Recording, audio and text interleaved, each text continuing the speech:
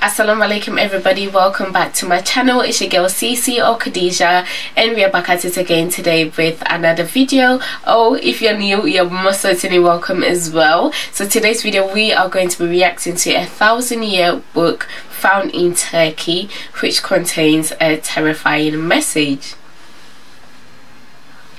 Right, a thousand year old book. Is it even possible to read it at this point? Because considering the condition of the thumbnail that I've seen, I don't know. I don't know. But let's get straight into today's video and see what this terrifying message could potentially be, shall we? Police in Turkey have recovered a Bible thought to be a thousand years old. The holy book, which was found in the central Turkish city of Tokat. Now, this is quite a discovery. Fragments of a biblical scroll, along with other relics, have been found in desert caves in Israel. Doesn't Turkish authorities have confirmed that an ancient Bible thought to be 1500 years old. The ancient scriptures and Bibles that represent the eras of the Bible are a highly essential part of history and something that millions of people base their lives on. The majority of these historical and religious works have been lost at various points in time throughout history, mainly due to war. Many of them contained crucial information that has been forgotten or left in the past and is now concealed from Christian society. This is why such objects are highly valuable, especially on the black market, where many of them can be found or stolen from sacred locations. However, none of them are quite as special as this antique Bible. Where does it originate from? What hidden truths about the beginnings of Jesus were covered up? In this video, we bring you an ancient Bible that dates back a thousand years and contains an image of Jesus that will blow your mind. In 2015, a groundbreaking discovery was made in the Turkish city of Tokat, which has a population of more than 100,000 people a little town in which people engaged in the illegal trade of historic and ancient things in order to later sell them on the black market. During an operation, law enforcement officers were able to save this Bible from the hands of smugglers, which prevented those criminals from destroying other groundbreaking discoveries for investigators all around the world. Right next to the Bible, the authorities discover a massive collection of valuable jewelry as well as over 50 old coins. More than $5 billion are thrown away each year as a direct result of the black market for ancient artifacts. This Bible is not your average edition. Rather, it is one of the very first ever produced. It dates back between 101 AD and 200 AD. It is still unclear where this Bible came from or who penned it, according to the investigators. After hundreds of years of dust building up, the cover was severely destroyed by smugglers. They never provided the ancient treasures with an appropriate setting to care for them, despite the fact that these objects are hard to come by and are fragile.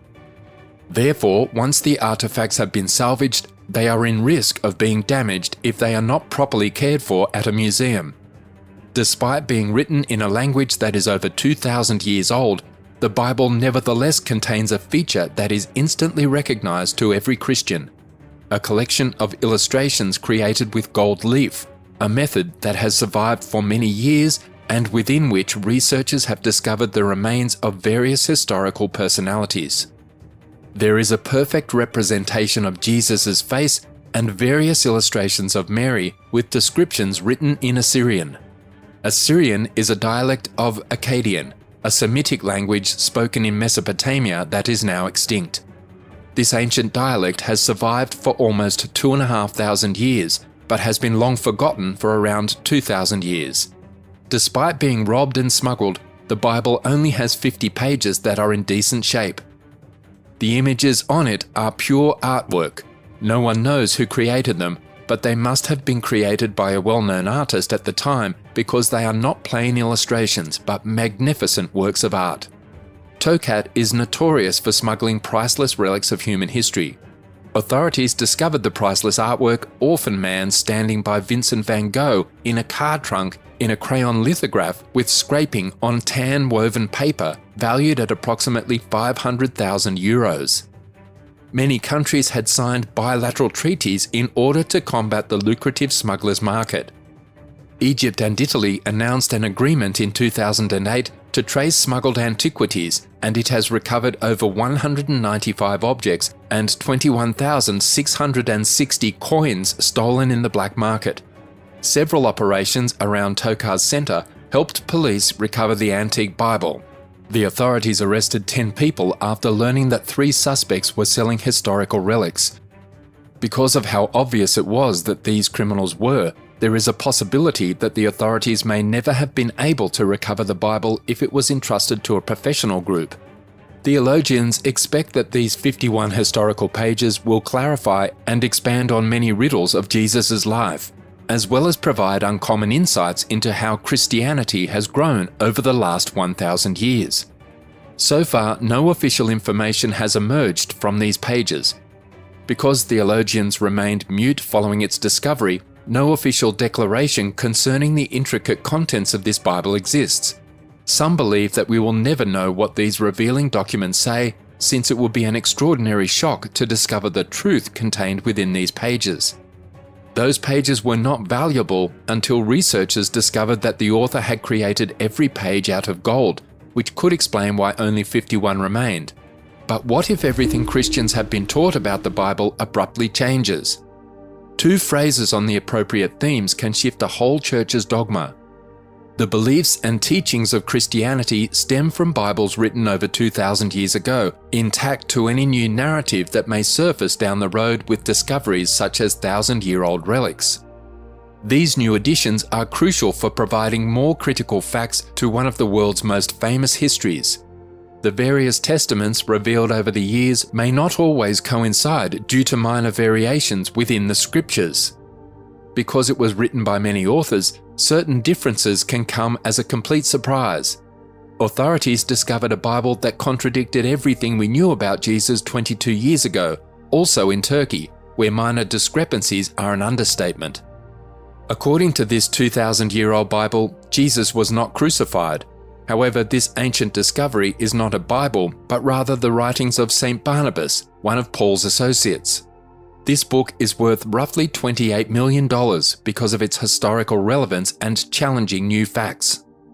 Even photocopies of each page may set you back more than $1.5 million. Barnabas penned the book in Syriac and Aramaic, which was also Jesus' native tongue. The book was examined by experts who found that it could be over 1500 years old. It describes the account of Judas being crucified instead of Jesus and how Jesus rose to heaven while still alive.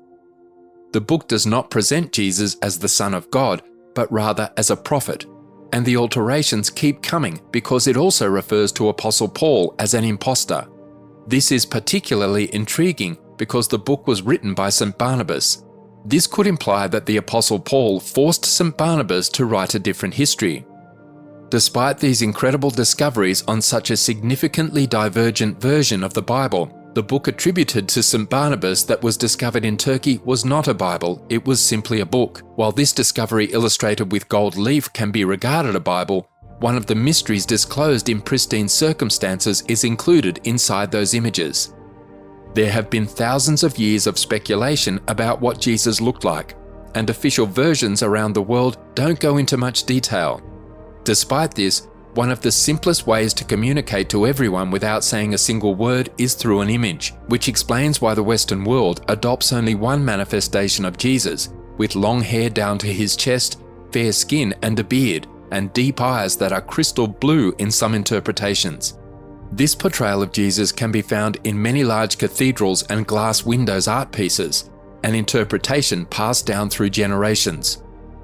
People who adopt it, however, never challenge it since it's not an authentic portrayal of Jesus. The portrayal is said to have started during the Byzantine era. Because the Byzantines saw Jesus figuratively, they depicted him with an aura of serenity and a massive robe. They painted their own depictions of what Jesus would look like following his resurrection, but they didn't add any realism, an interpretation reminiscent of Hellenic pagan gods' robes and sumptuous sculptures to describe that godlike position.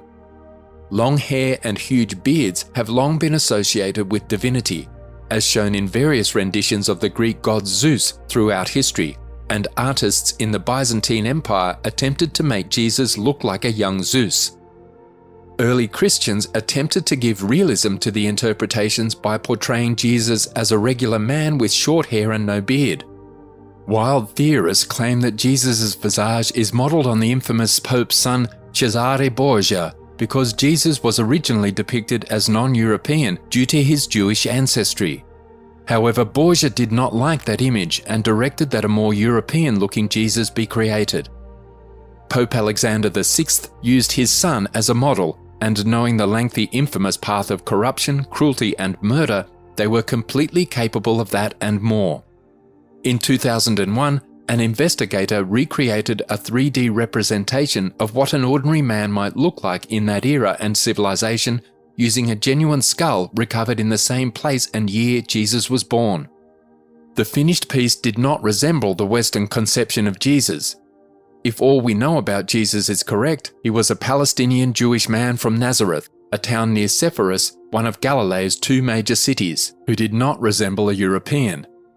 And in this Bible, we can have concrete proof that the figure we see on those pages could easily be Jesus himself, as this Bible ties back to the first branch of Christianity, which was assumed to be Catholic before they discovered this Bible. Nonetheless, it turns out that the initial branches are Assyrian, the language in which this old book was written. This Bible is invaluable. It can provide a unique viewpoint on early Christian history since the earliest humanity has discovered can be found in the Leningrad Codex, which contains material dating back to the 3rd century. If we can better comprehend those early days, we will be able to develop more accurate hypotheses and describe the seven different branches. Despite the fact that the Bible is beyond restoration and has been seriously damaged by smugglers, we can observe several historical individuals with possibly the most genuine depictions. Right, so that brings us to the end of that video and two things that I would like to discuss following on from that. Number one being that, um, what was it? That Jesus, peace be upon him, was not crucified. Is that a shocker to us Muslims? No. But do you know what?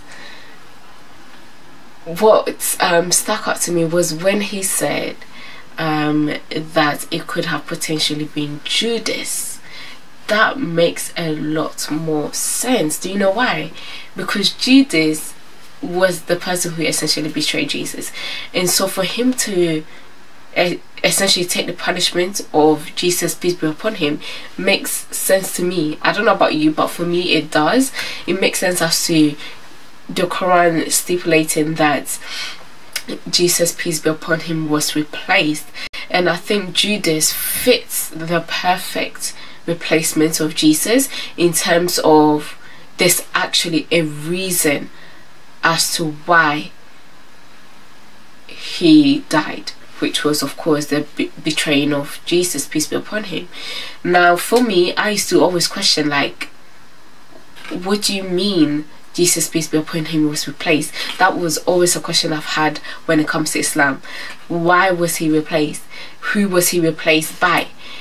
Was he replaced just by a random person? Because I felt as though that was not fair at all. And it makes so much sense that it could have potentially been Judas. What do you guys think? Do you think Jesus, peace be upon him, was replaced by Judas? for me I think it makes perfect sense and also the second thing I wanted to talk about was the image of Jesus Christ peace be upon him now I feel like I have come to the understanding as to why it's not right for us to depict a picture of Jesus or depict a picture of any of the prophets peace be upon them. And that is simply just to avoid these type of things from happening. Like now people are going to not even war people are having disagreements over what jesus christ peace be upon him looked like. And like it's just causing a whole unnecessary argument and it's not really needed you know it's really not now i completely understand as to why in islam we don't try to depict what Prophet Muhammad, peace be upon him, or any of the other prophets look like. And also, I see a lot of Christians attack Muslims as Muslims for going to Kaaba or facing um, the Kaaba when we are praying. Now, don't get me wrong, I questioned it too.